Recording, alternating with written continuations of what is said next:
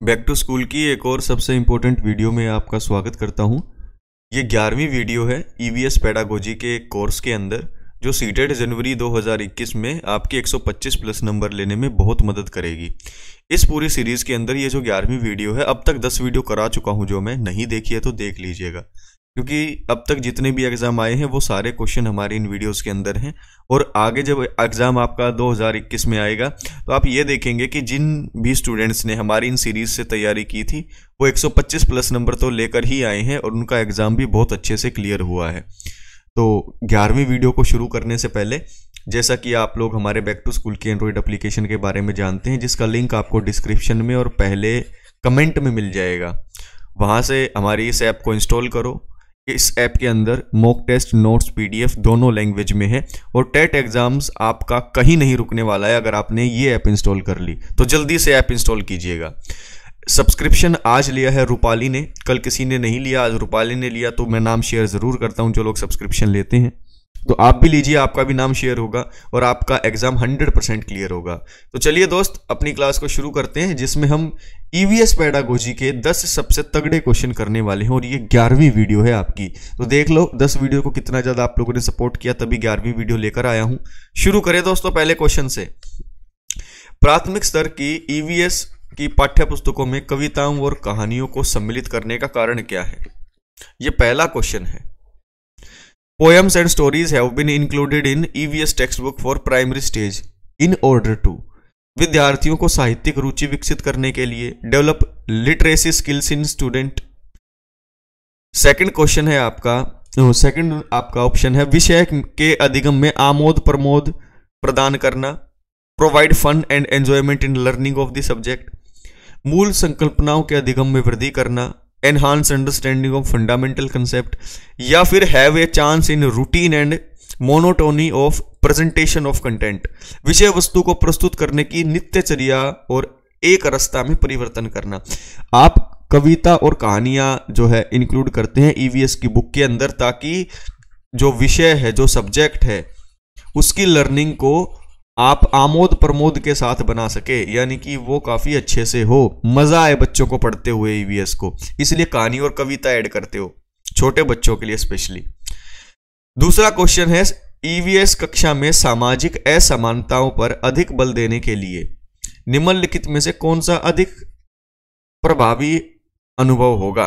Which one of the following will be more effective learning experience to emphasise more on social equalities in an EVS class आप एक EVS की class में ये दिखाना चाहते हैं, ये समझाना चाहते हैं कि हमारे समाज में कितनी असमानताएँ हैं, गरीब अमीरों के बीच में एक्स वाई जेड आप एक वीडियो दिखाएँगे showing video film on related issue संबंधित मामलों पर विशिष्ट भाषण आयोजित करेंगे organising special lecture on related issue संबंधित मामलों पर क्विज प्रतियोगिता का संचालन करेंगे। Conducting a quiz contest on the issue या फिर विद्यार्थियों से समूह परियोजनाओं का भार अपने ऊपर लेने के लिए कहेंगे। Asking the student to undertake group projects बताइए आप क्या करेंगे? आप बच्चों को खुद समाज में भेज देंगे।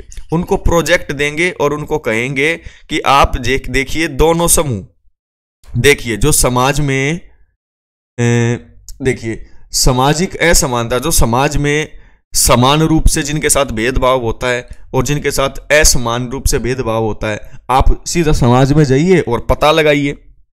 ठीक है? इसीलिए आप क्या करेंगे? ईवीएस e के अंदर ज़्यादा से ज़्यादा आप बच्चों को प्रोजेक्ट देंगे, याद रखना। प्रोजेक्ट वर्क देंगे, जिसमें बच्चे खुद अपने जो है सारी चीज़ें निकालेंगे। क्योंकि इसमें जटिल कार्यों को वो छोटे छोटे टुकड़ों में भी तोड़ेंगे बच्चे अपने आप। अपने आप ही योजना बनाएँगे टाइम मैनेजमेंट करेंगे। अपने आप ही चर्चा के माध्यम से एक दूसरे से समझने के प्रॉब्लम को सॉल्व करेंगे, मान्यताओं को चुनौती देंगे और उनका कम्युनिकेशन स्किल भी काफ़ी अच्छा होगा तो प्रोजेक्ट वर्क एक तीर से कई निशाने लगा देता है। तो लास्ट वाला आंसर होगा। अगला देखते हैं क्या है। लाइक करते रहो यार, जितना ज़्यादा लाइक करोगे उतनी ज़्यादा वीडियोस दूँगा मैं आपको। और कोई भी ऐसा सब्जेक्ट नहीं है जिसकी वीडियोस मैं दे नहीं रहा हूँ आपको।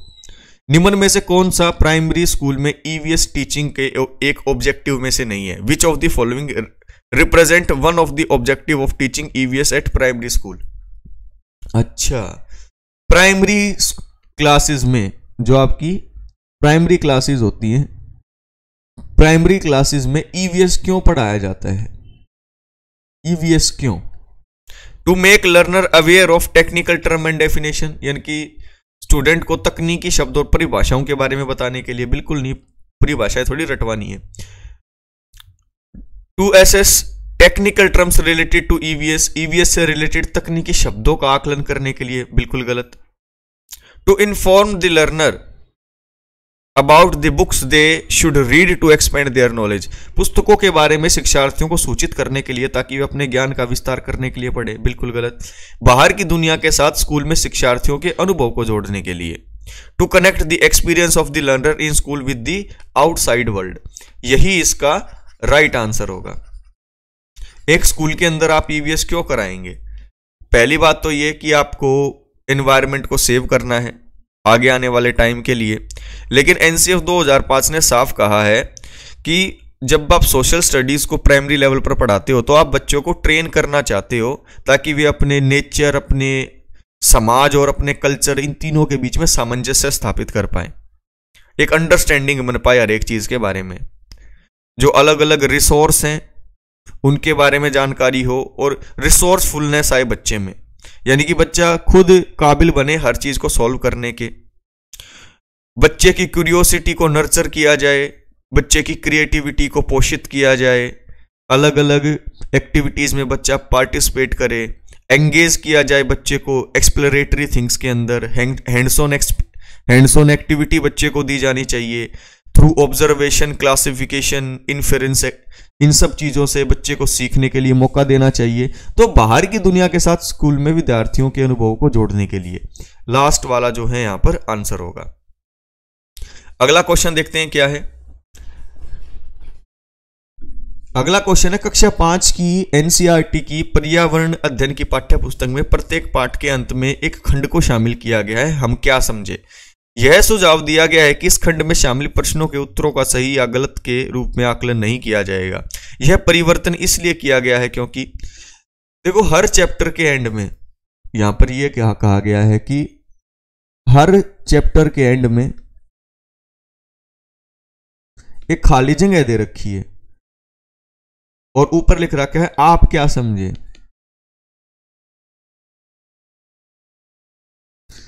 बच्चे को पहले तो पूरा चैप्टर पढ़ना होता है, उसमें हर एक चीज़ को समझनी होती है और जो उसकी अंतरात्मा, जो उसकी एसेंस होती है पाठ की, वो यहाँ पर लिखनी होती है, जो बच्चे ने समझाओ पूरे पाठ के अंदर।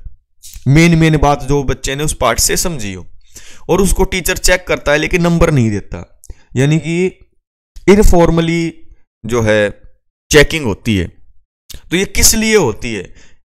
इस स्तर पर बच्चे सही उत्तर नहीं लिख सकते ये देखने के लिए, यह आकलन करने के लिए कि शिक्षकों की प्रेजेंस कितनी सुविधा बढ़ाती है बच्चों की, ये भी नहीं होगा। यह जानने में शिक्षक की सहायता करता है कि बच्चे कैसे सीख रहे हैं। बिल्कुल ठीक है। हर चैप्टर के लास्ट में जब वो लिखा हुआ कुछ देखेगा तो उसे पता लगेगा कि बच्चे कितना सीख रहे हैं और कैसे सीख रहे हैं। आचल कक्षा पाँच में पर्यावरण अध्ययन की कक्षा में अक्सर गहन जाँच पड़ताल करके जहाँ गहन जाँच पड़ताल वाले और कल्पनात्मक पर, प्रश्न पूछती है। उसके द्वारा इस प्रकार करने का उद्देश्य डैश में सुधार करना है। Aanchal frequently ask probing and imaginative questions in her class five EVS class by doing so she aims at improving Aanchal बार बार कैसे क्वेश्चन पूछती है? जाँच पड़ताल करने वाले और कल्पना परक तो ऐसा करने का उद्देश्य क्या है? वो किस चीज़ में सुधार चाहती है? अवलोकन कौशल में, यानी कि ऑब्जर्वेशनल स्किल में इमोशनल स्किल में थिंकिंग स्किल में, या फिर स्पीकिंग स्किल में, ये सारे के सारे चिंतन कौशल में वो विकास चाहती है थिंकिंग स्किल में चाहती है। तो आंसर सी आएगा यहाँ पर। देखिए, आंचल द्वारा ये जो करना है, ऐसा चिंतन कौशलों में सुधार करना होगा। चिंतन कौशल वो मेंटल एक्टिविटीज़ होती है जिनसे आप प्रॉब्लम सॉल्व करते हो डिसीज़न लेते हो क्वेश्चन पूछते हो, योजना बनाते हो प्लानिंग करते हो, और अपने विचारों का मूल्यांकन भी करते हो, सूचना को इकट्ठा भी करते हो तो ये सब आपके चिंतन कौशलों में आ गया। तो आंसर यहाँ पर सी होगा। नेक्स्ट क्वेश्चन है आपका, निम्न में से कौन सा पर्यावरण की कक्षा में एक रूपात्मक आकलन का समुचित कार्य नहीं करता है? Which one of the following is not a suitable formative assessment task in EVS रूपात्मक आकलन का मतलब हुआ फॉर्मेटिव असेसमेंट असेसमेंट तो होगा, लेकिन असेसमेंट करने के बाद ना तो रैंक दी जाएगी, ना नंबर जुड़ेंगे। ये सिर्फ़ बच्चे के अंदर इंप्रूवमेंट करने के लिए होता है। लेकिन आपको नहीं बताना है। पाठ में दी गई महत्वपूर्ण शब्दावली की परिभाषा की व्याख्या देना। Explain the definition of important terms given in the lesson ये बिल्कुल नहीं होगा। ये इसका आंसर होगा यहाँ पर। फॉर्मेटिव असेसमेंट में आपको सिर्फ़ ये देखना है कि लर्निंग कैसी चल रही है? फॉर्मेटिव असिस्मेंट में पाठ के लास्ट में दिए गए शब्दावलियों की परिभाषाओं का कोई भी स्थान नहीं है। अगला क्वेश्चन है, प्राथमिक स्तर पर ईवीएस e पढ़ाने के लिए निम्नलिखित में से कौन सा पहलू सबसे महत्वपूर्ण होना चाहिए? Which one of the following should be a most important aspect of EVS teaching at primary level आकलन में सफलता प्राप्त करना अचीविंग सक्सेस इन असेसमेंट बिल्कुल गलत है ईवीएस e में सबसे ज़रूरी आकलन तो हो नहीं सकता। लर्निंग से ऊपर आकलन रख दिया आपने, कैसे हो जाएगा आंसर विज्ञान की आधारभूत कंसेप्ट को समझना बिल्कुल गलत। Connecting learners to natural and socio cultural environment बिल्कुल ठीक है, सीखने वालों को प्राकृतिक और सामाजिक, सांस्कृतिक पर्यावरण से जोड़ना, बिल्कुल ठीक है। बच्चे का जो पर्यावरण है, उसके साथ बच्चे का कनेक्शन आपको फील कराना पड़ेगा। वरना कोई फ़ायदा है नहीं। तो हमेशा याद रखना कि ईवीएस शिक्षण में प्राथमिक स्तर पर बच्चों को प्राकृतिक और सामाजिक, सांस्कृतिक वातावरण के साथ संबंध स्थापित करने में महत्वपूर्ण रोल प्ले करना चाहिए। स्टूडेंट्स की सोच को व्यवहारिक बनाने के साथ साथ प्रभावी उपकरण के भी रूप में यूज़ करने वाली होनी चाहिए। तो ऑप्शन नंबर सी होगा यहाँ पर। अगला है कविता पर्यावरण अध्ययन की कक्षा में गरीबी, निरक्षरता और वर्ग असमानता जैसे सामाजिक मुद्दों पर बल देना चाहती है। निम्नलिखित में से कौन सा अधिगम अनुभव इस उद्देश्य की प्राप्ति में अधिक प्रभावी होगा? यानी कि Kavita wants to emphasise more on social issues like poverty, literacy and class inequality. In an EVS class, which of the following learning experience will be more effective to achieve this objective. वो चाहती है कि बच्चे aware हों कि हमारे समाज में कितनी असमानता है, चाहे वो पैसों को लेकर हो, चाहे वो पोस्ट को लेकर हो एक्स वाई जेड तो सबसे प्रभावी क्या करवा सकती है तरीका क्लासरूम में, ये ये कंसेप्ट समझाने के लिए? संबंधित मुद्दों पर विशेष व्याख्यानों का आयोजन करके। गलत हो जाएगा। Organising special lecture on related issue lecture क्या करेंगे इसमें? कुछ भी नहीं। Asking the student to prepare charts and charts to related social issue विद्यार्थियों को संबंधित सामाजिक मुद्दे पर चार्ट तैयार करने के लिए कहना। शिक्षार्थियों को संबंधित जानकारी एकत्रित करने और उनका विश्लेषण करने के लिए सामूहिक परियोजना के लिए कहना। Asking the student to undertake group activity to collect and analyse related information option यही होगा। ऐसी ऐसी समस्याओं का जब आपको समाधान करने हैं तो आप बच्चों को कैसा वर्क देंगे? Group work. आप बच्चों को कैसा कार्य देंगे? समूह कार्य। तो यहाँ पर ऑप्शन नंबर सी आपका बिल्कुल ठीक हो जाएगा। नेक्स्ट क्वेश्चन देखते हैं क्या है।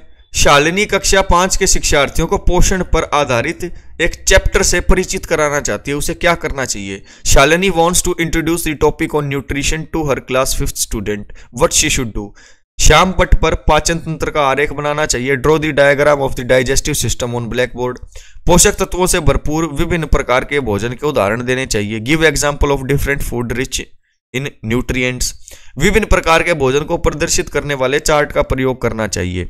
Use chart showing different kind of food या फिर शिक्षार्थियों से कहना चाहिए कि वे अपने अपने टिफ़िन बॉक्स खोलें, उसके तत्वों का अवलोकन करें, और बाद में उन्हें व्याख्या करनी चाहिए। Ask student to open their tiffin boxes see the contents followed by explanation तो ये लास्ट वाला जो आपका ऑप्शन है, ये बिल्कुल ठीक हो जाएगा। क्योंकि न्यूट्रिशन, पोषण के बारे में आपको जानकारी देनी है बच्चों को। तो आप क्या करेंगे, उनका सीधा उनका ही टिफ़िन खुलवा लेंगे और डायरेक्ट रियल लाइफ से ही आप जो है एग्ज़ाम्पल देकर पढ़ाने लग जाएँगे तो ये बेस्ट होगा, लास्ट वाला। ईवीएस में किसी अच्छे गृह कार्यों को मुख्यतः किस पर केंद्रित होना चाहिए? A good home assignment in EVS should primarily focus on पुनरावृत्ति और प्रबलीकरण पर, यानी कि रिवीजन एंड री पर। यह होती है रिवीजन और यह होता है री मास्टर लर्निंग पर विस्तारित अधिगम के लिए चुनौतियाँ और उत्तेजना challenge and excitement for extended learning better utilisation of time answer यहाँ पर होगा C challenge and excitement for extended learning EVS में हमेशा एक्सटेंडेड लर्निंग वाली ही चीज़ें होनी चाहिए। यानी कि ईवीएस के अंदर आपके गुरुजी आपको किसी टॉपिक के बारे में कुछ बता दे और फिर आगे आप खुद उसके बारे में खोजो।